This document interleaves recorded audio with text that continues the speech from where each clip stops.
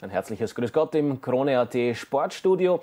Ich freue mich heute allen Fußballfans ein verfrühtes Weihnachtsgeschenk machen zu können. Das Weihnachtsgeschenk sieht so aus und trägt den Namen Peter Backhult und oh, ist auch dem, dem, Anlass auch schon entsprechend gekleidet. Wunderbarer Pullover, das will ich Ihnen schon sagen. Ja, wo ich das Weihnachtsgeschenk für viele Fans bin, weiß ich nicht, aber Fall auch aber, aber schöne Weihnachten. Mein, mein persönliches jedenfalls. Also ich glaube schon, dass die Zuschauer danke. Freude haben werden mit ihrer Anwesenheit. Bevor wir uns, das wird Sie wenig überraschen, auch ein bisschen dem Thema Rapid widmen wollen, will ich gleich mit der Tür ins Haus fallen. Sollten Sie nicht eigentlich in Alltag schon den Cheftrainerposten angenommen haben und dort unterschrieben haben.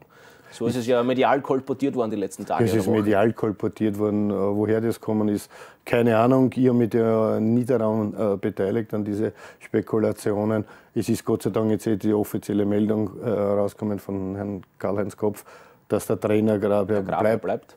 Ist, ich finde das auch äh, völlig in Ordnung. Natürlich war man mit dieser Saison bei Alltag, mit dieser Herbstsaison nicht zufrieden. Ich war ja auch beim Pokalspiel äh, bei uns zu Hause in, in Leobendorf äh, äh, am Platz, habe auch dann mit, mit Georg Zellhofer äh, ein bisschen gesprochen. Und es war halt dieser Start unglücklich, dann sind Verletzungen bei einer dazugekommen. Und äh, das Ganze ist halt natürlich auch so, dass dieser Verein natürlich in den letzten Jahren auch für viel Euphorie äh, gesorgt hat. Und zweiter Vizemeister waren, Europacup gespielt und äh, dass das natürlich nicht immer so weitergeht, ist ganz klar. Aber natürlich hat man mit so einer Herbstsaison nicht gerechnet, aber ich glaube, der Abschluss jetzt mit den 6-1 gegen Hartberg hat auch doch einiges ein bisschen wieder versöhnt. Sie wissen natürlich auch, wie die Journalisten ticken, deswegen kann ich mich mit der Antwort natürlich nicht zufrieden geben und versuche jetzt noch einmal durch die Hintertür. Die viel zitierten Gespräche mit der Clubführung bei Alltag hat es gegeben oder nicht? Es hat nicht ein einziges Gespräch mit irgendjemand von Alltag gegeben. Also das kann ich da hier hoch und heilig äh, sagen. Also ich weiß nicht, woher auch diese Meldungen kommen. Also ich habe das zwar von äh, äh, Peter Linden da gelesen, dass dieser Herr Rengle äh, irgend so einen Kommentar mal irgendwo abgegeben hat, aber das war sicher keine, keine offizielle, äh, offizielle Statement, sondern es wird vielleicht in einem Freundeskreis oder was gefallen sein. Aber mit mir persönlich hat niemand gesprochen. Also ich, ich, sage auch so, ich bin auch derjenige noch immer, der was auch äh, da ehrlich genug ist, weil ich einfach sage, wenn, wenn ein Trainer äh, im Amt ist, dann hat man nicht Gespräche zum Führen. Das ist eine klare Ansage. Damit kann ich jetzt beruhigt einen Haken unter das Thema machen. Und wenn es recht ist, machen wir jetzt ganz abrupt den Wechselpass in den Osten des Landes, in die Hauptstadt nämlich. Und da zu ihrer vielleicht immer noch emotional konnotierten Adresse, nämlich den SK Rapid. Wie verfolgen Sie denn aktuell die Geschehnisse, wenn Rapid 1 zu 6 im Derby verliert? Hängt da noch ein bisschen Ihr Herz dran? Nimmt Sie das emotional auch mit? Selbstverständlich. ich habe, eigentlich, ich habe seit dem Sommer eigentlich gegeben? fast alle Spiele, ich glaube nur zwei Spiele eigentlich heuer nicht live gesehen von, von Rapid. Und natürlich äh, nimmt, äh, nimmt man das natürlich da als Trainer oder als ehemaliger Trainer und Spieler ganz anders äh, auf, was da jetzt in, in dieser Herbstsaison passiert ist. Und vor allem natürlich dann, wenn du die Saison so beendest, wie sie jetzt geendet hat, ist das natürlich doppelt äh, äh bitter. Aber das ist immer Rapid. Äh, da äh, glätten halt, oder sind halt die, werden halt die Wogen hochgeglättet. Äh, und, aber trotz allem darf man natürlich oder wird man auch nicht mit dieser, mit dieser Herbstsaison zufrieden sein bei Rapid. Und es fallen immer wieder zwei Schlagwörter, wenn man versucht, Rapid zu analysieren, nämlich fehlende Stabilität und fehlende Konstanz. Beide schlagen ja in die gleiche Kerbe. Was haben Sie denn für eine Erklärung dafür, dass nach Erfolgserlebnissen, wie sie es ja immer wieder gegeben hat, wie zum Beispiel das 1-0 gegen die Rangers, dann wieder so ein Einbruch folgt? Wie ist das zu erklären?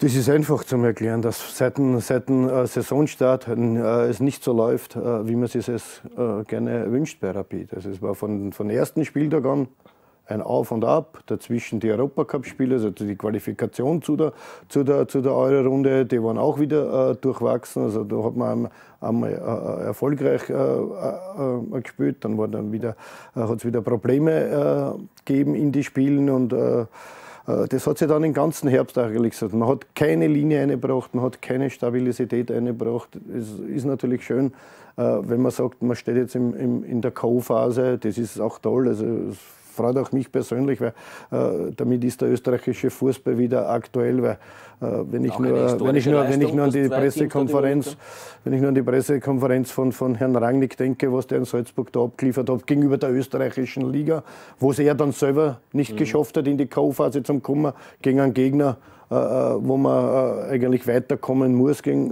Trondheim. Und äh, hat da bei der Pressekonferenz gegen, gegen die Liga eigentlich gewettet und und und. Und dann ist dann schön, wenn zwei österreichische Vereine dabei sind, aber natürlich ist für Rapid äh, die, die nationale Meisterschaft wirklich eine Katastrophe. Also du bist sechs Punkte hinter dem Platz sechs und das, ich, man kann eigentlich äh, oder muss damit rechnen, dass man sicher nicht unter die ersten sechs ist. Jetzt war Peter Backholt vor, ich glaube, eineinhalb Monaten war es zu Gast bei Servus TV. Also auch das ein Indiz dafür, dass sich die TV-Stationen um sie reißen, weil sie ganz gerne einmal verbales Offensivpressing an den Tag legen, wenn ich Ihnen das so unterstellen darf. Und dort haben sie ja schon einigermaßen forsch aus allen Rohren gefeuert, wenn ich das einmal so sagen darf. Unter anderem gegen Rapid-Sportchef Freddy Pickel. Dem haben sie nämlich unterstellt, er hätte noch keinen einzigen wirklichen gescheiten Transfer zustande gebracht oder noch keinen Spieler geholt, der der Mannschaft wirklich weitergeholfen hätte. So ist es richtig formuliert. Ich habe gesagt, äh, Freddy Pickel hat jetzt drei äh, Transferperioden äh, gehabt und hat äh, nicht einen Spieler, der was uns langfristig weiterhilft. Er ist mal er hat sich dann in einem Interview gewehrt und hat dann auch gegen mich geschossen. Okay, äh, muss man so akzeptieren. Aber Haben das, wie er geschossen hat, äh, wie er da geschossen hat, war ein bisschen dann zu persönlich. Ist doch ganz klar, dass man als ehemaliger Rapid-Trainer und äh, Rapid-Spieler auch äh, äh, den Namen äh, des Sportdirektors nennen darf, wenn die Transferperiode nicht so gelaufen ist. Und man sieht ja, was rausgekommen ist. Also jetzt, man kann jetzt nicht sagen, na, der Galvao hat uns weitergeholfen. Er hat damals in einem Interview gesagt, ja, er hat den Galvao gebraucht. Der Galvao spielt bei Ingolstadt. Wir reden von der Saison 18, 19. Und da ist kein Spieler im Moment da, der was uns, was unser Rapid in dem Sinn. Sie sprechen immer noch in der Wir-Form. Ja, leider. Dann ist man sehr emotional verankert. Ja, na klar, ich meine, das, das kann man ja nicht weg. Ich meine, wenn du zwei längst Dinge der Trainer bist bei Rapid, Meister geworden bist, zweimal in die Europacup-Phase gekommen bist, äh, auch als Spieler tut ein bisschen was erreicht hat, dann kann man schon auch äh, von der Emotion als Rapid-Spieler reden. Aber es ist natürlich, ich habe nichts persönlich, das ist doch kein persönlicher Angriff gegen Freddy, sondern das ist nur eine, eine, eine Feststellung. Ich, ich denke, er weiß, er ist schon lange nur im Fußball dabei und er weiß natürlich auch, wie es im Ausland zugeht. Also in Deutschland, man hat ja das jetzt vor ein paar Wochen mitgekriegt, was das sich da abgespielt hat bei Bayern München, weil sie halt dreimal hintereinander verlangt haben, was da für ein Medienecho ist ist. Das ist halt Rapid. Und ich bleibe halt bei dieser Ding, bei, bei meiner Meinung, dass wirklich diese Kaderzusammenstellung ihm nicht geglückt ist. Ich muss auch dazu sagen, er hat es nach einer Sitzung, jetzt vor zwei Wochen oder drei Wochen war das, äh, auch insgeheim ein Eckspieler, also auch gesagt, wo er gesagt hat, sie haben recht, äh, äh, der Kader passt nicht richtig. Dass man, aber das, man soll ja nicht nur Kritik äh, daran äußern. Es ist ja nur, äh, dass natürlich bei Rapid andere äh, es wird halt anders behandelt, Rapid. Mhm. Und es ist leider halt auch so, wenn man die nationale Tabelle anschaut und du stehst nach 18 Runden so da mit, mit die, mit die zweitwenigsten oder drittwenigsten Tore geschossen, äh, und dann kann man nicht sagen, es ist alles in Ordnung oder das hat eh passt. Es überdünkt leider äh, dieses Internationale. Mhm. Natürlich ist das Internationale sehr, sehr wichtig, aber das ist für mich eigentlich immer nur, ich habe immer gesagt, auch als Trainer damals, das ist das Beiwagel. Das nehmen wir mit, weil man sich für das ganze Jahr dafür geopfert hat, dass man diesen Platz erreicht, dass man international spielen kann. Aber es zählt die nationale Meisterschaft und es wäre, wäre wirklich fatal, wenn du im Frühjahr spielst gegen Admira, Altach, Mattersburg, Innsbruck statt gegen äh, Austria Wien, Sturm, Red Bull. Das schaut aber natürlich im Moment äh, Spannende ganz danach Geschichte aus. jedenfalls. Vor etwa einer Woche ist an dem Platz, an dem Sie es Platz genommen haben, Rapid-Präsident Michael Krammer gesessen. Ich habe natürlich auch gefragt, wie er Ihre Kritik an Freddy Pickel aufgenommen hat. Und er hat gemeint, alles bereinigt zwischen Ihnen beiden. Es hat ein Mittagessen gegeben. Er hat mir nicht verraten, was in diesem Mittagessen so besprochen worden ist. Tun Sie das? Nein, die, wir, wir das wäre aber sehr, sehr interessant. Äh, äh, Michael Kram und ich, wir haben schon länger äh, äh versucht, äh, dass wir mal äh, gemeinsam was unternehmen. Und es ist ja der Kontakt auch nie abgerissen, auch wenn, wenn ich von Rapid weg war. Es war immer eine Kommunikation da. Ich auch, verstehe mich auch heute mit, mit Rudle Edelinger. wieder, wieder gut. Und ja, das sind halt so Momente, so wie es so auch Rudi Edlinger damals gesagt hat, nach ein paar Monaten, dass er auch sieht ein bisschen, dass es ein Fehler war, damals mich zu entlassen. Genauso äh, sieht es auch äh, äh, Michael Kramer, er hat in ein paar Interviews schon gesagt, dass die Entlassung äh, vom, vom, vom äh, Zocke damals oder die Trennung von Zocke damals auch nicht glücklich war. Aber es waren beide Entscheidungen, die was der Verein gefällt, äh, gefällt hat. Aber es ist natürlich auch so, wir haben sie allgemein über, über, über, über Rapid und so allgemein über Fußball unterhalten und äh, es ist nichts da dabei, wo, was nach außen jetzt, jetzt wichtig aber, wäre. Aber ich befürchte, Natürlich dass auch mit Catenaccio an den Tag legen. Ich befürchte, dass Sie dazu auch mit Freddy abgebrüht sind. Ist, ein, ist ein normales ja. Feld, ist ganz normal, dass natürlich äh, äh, bei, so Tabellen, bei so einer Tabellensituation nicht immer alles äh, äh lustig mhm. sein kann. Eine Kritik, die sich Michael Grammer explizit immer wieder anhören muss, ist die von der fehlenden Sportkompetenz im Rapid-Präsidium. Sind auch Sie ein solcher Verfechter dieser These, damit ich es richtig ausbringe? Würden Sie auch für mehr Sportkompetenz im Präsidium Präsidium explizit plädieren? Ich habe halt also die, den Fehler, glaube ich, schon zwei, dreimal gemacht, wo man sich selber ein bisschen äh, Dings, und den Fehler werde ich hier heute jetzt nicht machen. Also jetzt kein das Bewerbungsgespräch. Der, das, so ist es. Das muss der, der, Verein wird sich seine Gedanken machen. Aber ich denke schon, dass Rapid äh, auch im Gremium, ich glaube, an Günter Kaltenbrunner, an, an, an Josef Hickesberger sitzen hat. Man hat einen Sportdirektor, äh, man hat jetzt einen Trainer mit, mit langer Rapid-Vergangenheit, äh, der weiß, wie Rapid funktioniert und wie die Fans ticken, wie das, die, die Medien funktionieren. Ich denke, dass da muss der Verein sich entscheiden, was, wo, wo der Weg hingehen soll. Äh, ist natürlich jetzt mit dieser, äh, mit dieser offiziellen Trennung äh, von Herrn Kramer nächste Saison, ist natürlich auch das Problem, okay, man verlängert jetzt den Sportdirektor, mhm. wobei ja diese Klausel, so wie ich es in den Medien gelesen habe, beiderseitig kündbar sind. Ich denke auch, ich vermute auch ein bisschen, dass Aus das auch so. dem neuen Präsidenten gegenüber, so wird es kommuniziert zumindest. Nicht nur das, sondern auch, es kommt ja jetzt der Winter, man muss ja da jetzt im Winter ein bisschen was planen, und es kommt der Sommer. wenn jetzt herausgekommen wäre, so ist jetzt meine, meine These, wenn jetzt herauskommen wäre, okay, auch Freddy Pickel verlängert nicht, dann äh, wäre sofort die erste Frage der Journalisten kommen, ja, wer ist jetzt entscheidend für Sportliche im Frühjahr? Und das wollte man sicher wollte damit man vorbeugen. wollte man die, äh, vorbeugen und dadurch ist es auch okay. Und, und wenn äh, äh der neue äh, Präsident dann kommt und wird man sich dann äh, irgendwie mhm. äh, einigen, ob, ob das weitergeht oder nicht weitergeht. Aber das ist sicher jetzt nur eine, eine, eine sage jetzt einmal eine Lösung, um nicht nur eine weitere Baustelle aufzumachen die was eh schon ist mit dem Tabellenplatz. Jetzt muss ich einmal noch auf diesen vorhin angesprochenen Auftritt bei Servus TV zu sprechen kommen. Da hat Peter Parkholt nämlich auch ein bisschen die fehlende Hierarchie innerhalb der Rapid-Mannschaft bemängelt. Ist es aber nicht ein Zeichen der Zeit, dass die Hierarchien, es ist ein geflügeltes Wort und vielleicht ein bisschen abgedroschen, aber trotzdem flacher werden?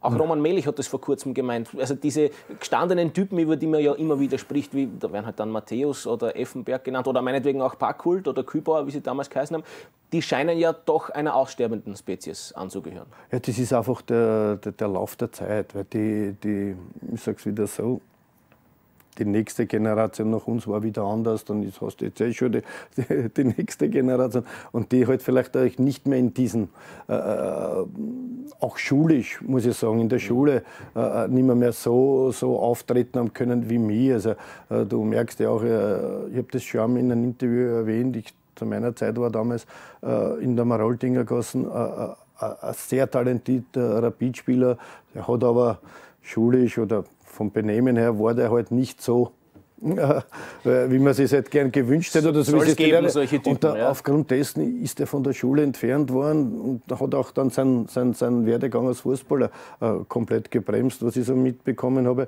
Und, und das stirbt halt leider aus. Also es wird, wie soll man das sagen, also du, alle, die was, alle, die was ein bisschen vielleicht äh, lauter, frecher sind, das wird, das wird alles schon gebremst. Jetzt wird es ja noch schwieriger, aber weil du ja doch schon viele gemischte ja, aber, Bevölkerung aber, hast. Äh, damit meine ich jetzt nicht, was jetzt ja. vor zwei, drei Jahren passiert ist, sondern was vor, äh, vor 20, 25 Jahren passiert ist. Aber mit der These der flachen Hierarchie innerhalb einer Mannschaft können Sie trotzdem nichts anfangen? Nein, es sollte trotzdem, ich glaube, in jeder Mannschaftssportart äh, hast, du, hast du einfach äh, hast du eine Hierarchie und man soll jetzt nicht anfangen, äh, es gibt keine Hierarchie. Es kommt nämlich auch auf die Typen an. Mhm. Wer ist ein Typ und wer ist kein mhm. Typ. Und das sieht man äh, dann oft auch, äh, ich sage zum Beispiel ein Beispiel, Andi Dober war für mich zum Beispiel ein Typ, weil der trotz allem mit, mit der Kritik leben, mit Kritik leben hat können und trotzdem aber weiterhin äh, sein Schmäh oder seine, sein, sein äh, Ding beibringen. Äh, Deswegen ist er auch bei den Journalisten relativ beliebt, weil er immer für einen guten Sager zu haben ist. Ähnlich Absolut, und da gibt's ja, es gibt, ich glaube, dass die Typen trotzdem noch immer gibt, nur vielleicht äh, wird es nicht mehr, so in der Masse sein. Aber was ich auch zum Beispiel auch äh, merke, ist, dass diese wie soll ich sagen, diese, ich will nicht immer von der neuen gehen, aber diese Spieler, diese neuen Spieler, ich vermisse irgendwo so dieses, dieses Gewinnen wollen, das Gewinnen. Mhm. Ich will gewinnen, egal jetzt was ich spiele, ob ich Golf spiele, ob ich Ping-Pong spiele oder ob ich Skifahren will, auch wenn ich es nicht kann. Äh, die, das, was vielleicht unserer Generation leichter getan hat. Und natürlich auch, es kommt vielleicht auch natürlich auch dazu, dass du heute nicht mehr diese Spieler hast, die was schon vielleicht im Nachwuchs beim Club waren oder die was schon länger beim Club sind, äh, dass da natürlich auch eine gewisse. Hierarchie auch dementsprechend nicht mehr so vonstatten gehen kann, wie es zu unserer mhm. Zeit war. Aber weil wir gerade dabei sind, Generationen miteinander zu vergleichen, ich glaube, es gibt da ein Phänomen, das ich mit Ihnen ganz gern besprechen würde, das inhaltlich schon ganz gut dazu passt. Nämlich der Umstand, dass Spieler, sobald sie als Legionäre in Deutschland ein paar Wochen tätig sind, im feinsten, sagen wir mal, Bundesdeutsch daher parlieren. Was ja zu ihrer Zeit, glaube ich, relativ undenkbar gewesen wäre. Also es ist ja nicht vorstellbar, dass ein Kübauer oder Sie persönlich, Sie waren ja auch lange in Deutschland oder ein Herzog meinetwegen aus Deutschland zurückkommen und dann äh, da irgendwie, verzeihen Sie mir jetzt den Ausdruck, daher piefgenesieren. Also das heißt, Sie haben ja Ihre Zeit in Deutschland dialekttechnisch einigermaßen unbeschadet überstanden. Warum ist es heute so viel anders? Oder ist es vielleicht ein Zeichen der Professionalität, weil es heute halt mehr Medien gibt und die Ansprüche außerhalb des Fußballplatzes auch steigen? und sie sich dann halt entsprechend artikulieren müssen. Die Jungen heutzutage. Na, es ist, wenn ich, wenn ich nur jetzt meinen Werdegang hernehme, okay, bei, bei 60 ist kein Problem, weil München, da ist von der Sprache her. Die, die kehren nicht zu uns. Wenn quasi. ich aber jetzt Dynamo Dresden hernehme oder, oder, oder Red Bull Leipzig, äh, dort wo Sächsisch gesprochen wird, und da, äh, da muss man natürlich schon anders äh, sich artikulieren. Da kann ich hat man nicht so jetzt den Wiener Dialekt reden können. Das ist ganz normal. Das ist auch beim Peter Stöger Omen in Köln oder beim Andi Herzog, damals einer der ersten Omen in Bremen, äh, den hätten sie dort nicht verstanden. Also dadurch gewöhnst du dir das an und äh, muss doch so reden. Also wer für mich aber den größten Sprung hat gemacht, war für mich äh, Ralf Hasenhüttl. Also ich kenne Hase jetzt ja Spieler, weil wir gemeinsam ja äh, unser, zu unserer Zeit im Nationalteam gespielt haben und alles. Wie sich der, durch das, dass er halt lang in München gelebt hat, also in Unterhaching, äh, er hat sich komplett dieser deutschen Sprache angelegt. Also ich, bei den hört man keine, keine Silbe mehr, dass das ein Steirer ist. Wäre aber die Frage, ob die in Deutschland das auch so sehen. Oder sagen die in Deutschland, was ist das noch immer für ein fürchterlicher Ösi-Dialekt? Also klingt das Nein, nur die, für uns so germanisch? Es klingt, nur für, es klingt nur für uns so. Also wer, wer komplett die Sprache verloren ist für mich der, der Sabitzer. Also Auch ein interessantes Phänomen. Muss ich sagen. Also ja. Den habe ich das letzte Mal beim Nationalteam reden gehört und ich hätte nicht jetzt gewusst, dass das von Herfried der, der Sohn ist, weil auch er hat auch gegenüber, Junior, er hat damals in Leipzig auch gegenüber von mir, also gegenüber von mir gewohnt und haben wir so ein bisschen Kontakt gehabt, aber vom Reden her, da war, aber er hat sich ja jetzt, äh, das letzte Interview, was da bei Leipzig war, der hat sich komplett dieses Sächsische äh, angewöhnt, wie, wie, wie man sich das angewöhnen kann, ist eh schwer. Aber gut, das, das ist halt, heutzutage ist das halt ein bisschen anders, man lebt halt anders ja. mit. Also, das ist ja auch vielleicht der eine Vorwurf, was auch Michael, äh, Michael Kramer gesagt hat, wo er gesagt hat, ja, die Spieler, die was vor 30, 40 Jahren äh, gespielt haben, äh, äh, sind ein bisschen stehen geblieben oder, oder nicht diesen angepasst. Können mit und das ist, modernen Entwicklungen nicht Schritt halten denke, im aktuellen Fußball? Haben Sie sich angesprochen gefühlt? Nein, ich habe mich nicht angesprochen gefühlt aus dem einfachen Grund, weil ich ja in den letzten Jahren auch in, in, diversen Auslandsstationen war und auch dort gemerkt habe, wie funktioniert dort oder wie läuft dort das Ganze. Und ich, ich fühle mich da in, in dem Sinn überhaupt nicht angesprochen. Ich glaube auch nicht, dass sich äh, da bei uns viele Legenden angesprochen Natürlich haben, die, haben wir dort, äh, die was früher gespielt haben, vielleicht doch ein anderes äh, äh Empfinden, wenn man äh, auf der Tribüne sitzt äh, oder als wie man Spieler war. Weil ich denke auch, und ich sage jetzt, ich rede jetzt nur für mich, ich habe sicher in meiner Karriere mehr schlechte Spiele gespielt wie gute gespielt und ich habe auch nicht alles mhm. gewonnen. Also ich nehme mich schon auch so in die Pflicht, dass ich sage, ich habe genug Gurkenspiele äh, abgeliefert und, und, und äh, wo die Zuschauer auch nicht zufrieden waren. Aber äh, ich sage natürlich auch so, dass das, dieses Weiterentwickeln, vielleicht meint er das ein bisschen anders, äh, aber ich, ich sage schon äh, von der Weiterentwicklung, weil natürlich auch äh, die Spiele heute ja doch auch verwöhnt werden, sage ich jetzt einmal in einer Weise, äh, vom Verdienst äh, her, mhm. dass da natürlich auch ein anderes Denken ist und ein anderes äh, Miteinander. Aber was mich als, als, als, als, Trainer jetzt noch immer reizt, ist einfach das, dass ich meiner Mannschaft beibringen will, Spiele zu gewinnen. Es kann nicht dieses Phasenschweinchen da um und um äh, rennen, ja, wir haben das, sondern äh, dass man das wieder und das wird man halt schwer reinbekommen, weil das fängt im Nachwuchs für mich eigentlich an, dass ich im Nachwuchs schon Trainer habe, die was den Spielern beibringen, wir wollen oder wir müssen Spiele gewinnen. Mhm. Wenn ich dann immer her wird, dann ausbilden und ausbilden, ja, ausgebildet wirst du ja eh dabei. Mhm. Aber du musst auch diesen Ehrgeiz entwickeln der jungen Spieler, dass du Spiele gewinnen musst um erfolgreich zu sein. Nur das dabei sein und ausbilden, äh, da hapert es äh, bei mir ein bisschen. So, das heikelste Thema habe ich mir für den Schluss aufgehoben, die Rapid-Fans. Ich glaube, es gibt ja relativ wenige Persönlichkeiten, die so sehr nachvollziehen können, wie, sagen wir mal, anspruchsvoll die Rapid-Fans sein können, wie Peter Packhult das tun kann. Wie haben Sie denn die jüngsten Vorkommnisse rund um das Derby inklusive Auseinandersetzung mit Polizei miterlebt? Haben Sie eine Meinung dazu und wollen Sie die kundtun? Selbstverständlich habe ich eine Meinung dazu. Wenn man, wenn man ein gewisses Alter hat, darf man auch was sagen, ohne dass einer beleidigt Sie sind unabhängig. Weil man kriegt ja so und so, man kann es ja heutzutage eh nicht, nicht mehr jeden recht machen. Also auch wenn irgendwo bei einem Verein ein neuer Trainer bestellt wird, werden auch nicht alle 100 Prozent Juhu schreien, das ist der richtige Trainer. Und genauso äh, darf man halt seine Meinung haben.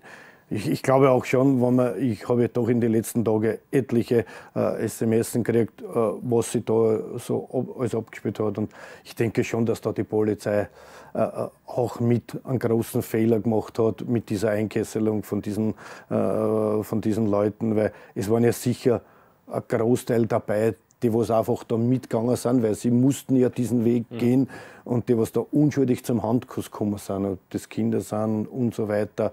Äh, und das mit dieser Ausweispflicht oder und diese, äh, ob das nicht ein bisschen überzogen war, weil ich denke schon, dass da äh, die, die, die Polizei schon weiß, wo und wer äh, äh, sage der harte Kern der Rapid-Fans ist, aber dass man dann natürlich jetzt alle über einen, einen Kamm schert, das war halt die Tragödie für mich. Und denke, äh, dass natürlich auch unter die Rapid-Fans nicht nur Heilige sind, das wissen wir auch. Also das steht ja fest. Besser vor, als Sie.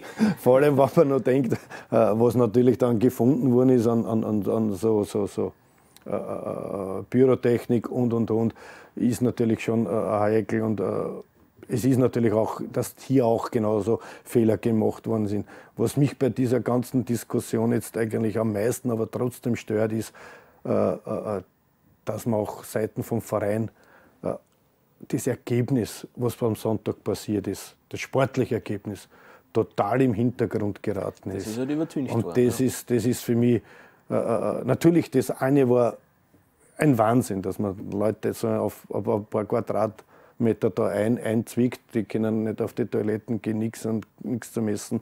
Es gibt ja auch Leute, die was äh, äh freie Rapid-Fans sind, sage ich mal so, und äh, die was da betroffen worden sind, die was sich dann zu Wort geäußert haben, die was das eigentlich dann so miterlebt haben. Aber dass dann mit dem Sportliche komplett in den Hintergrund rennt, mhm. weil, weil ich sage, 6-1 im Derby verlieren, das ist, das ist schon sehr hart, vor allem wenn man bedenkt, das war in den letzten also über zig Jahren die höchste Niederlage, was man überhaupt in einem Derby erleidet hat. Und Jahren der höchste fünf, für die Austria. Dann ist ja noch, und, und vor allem, wenn man dann noch einen sechs Punkte Rückstand hat auf, auf den rettenden, äh, äh, sage jetzt, jetzt klingt das blöd, rettenden sechsten Platz, wenn man weiß, man beginnt die neue Saison mit einem Heimspiel gegen RB. Also es könnte ja am ersten Spieltag ich wünsche es nicht, ich hoffe ja. nicht, dass das so passiert, aber es kann ja schon am ersten Spieltag im Prinzip äh, äh, aus sein, weil dann bist du neun Punkte, sollte Sturm Graz in Mattersburg gewinnen, äh, dann bist du neun Punkte. Jetzt kommt es darauf an, halt, wie St. Pölten und die anderen spielen, aber das ist dann ein Punkteabstand, den was du in drei Spielen, mhm. da müssen ja drei Vereine mitspielen, dass du, dass du das nicht schaffst. Also das heißt jetzt da eigentlich dieses 6-1 dementsprechend auf, aufarbeiten, weil du gehst ja mit einer, mit einer Packung in die, in die Weihnachtspause, die was ja nicht einfach ist und dass du dann eine, eine sehr gute Vorbereitung hast und dass du natürlich auch dementsprechend äh, gut startest, wobei ja gleich wieder begonnen wird. Und das stört mich am allermeisten, wenn man, wenn man andauernd redet von dieser Be Dreifachbelastung. Doppel. Ja, dann darf ich mich halt nicht international bewähren. Also, das nicht mehr äh, aber sein, du, hast ja. dann gleich, du fängst dann gleich wieder mit einer englischen Woche an. Ja. Und äh, da muss man halt dann äh, topfit sein. Da muss man halt schauen, dass man natürlich den retteten sechsten Platz erreicht. Also, es war jetzt kein besonderlich besinnliches Thema am Schluss, aber ich wünsche Ihnen zumindest trotzdem besinnliche Weihnachten. Ich bedanke mich sehr für Danke den Besuch. Ist mir immer wieder eine Freude Danke. und bei Ihnen natürlich auch und freue mich, wenn wir uns wiedersehen. Bis zum nächsten Mal. Wiederschauen.